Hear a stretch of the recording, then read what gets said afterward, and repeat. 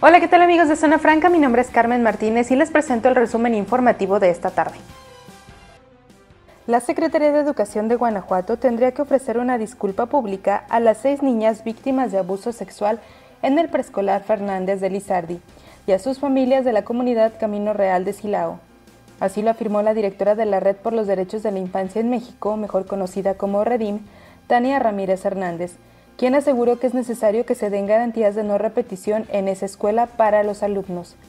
La activista condenó el hecho registrado en Silao y señaló que lo mínimo es que las autoridades realicen investigaciones conducentes, pero que lo más importante es que se haga una reparación al daño a las víctimas y se activen los protocolos de no repetición.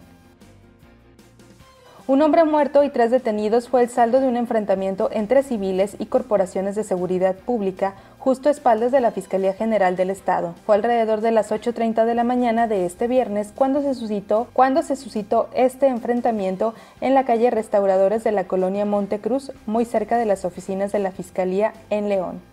Hasta el momento no ha fluido la información oficial, sin embargo se habla de una posible persona secuestrada que fue liberada y que pedía auxilio poco antes de que se desatara el enfrentamiento a balazos.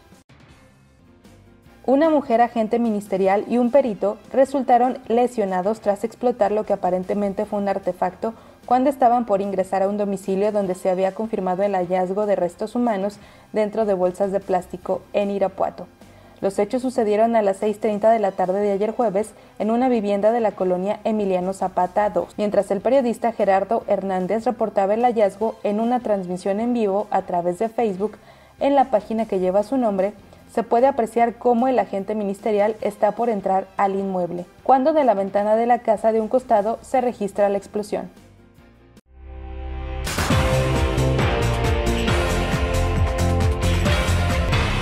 No se olviden de revisar nuestro contenido en zonafranca.mx y de seguirnos en nuestras redes sociales. Y más tarde vean la información que les prepara Vania Jaramillo.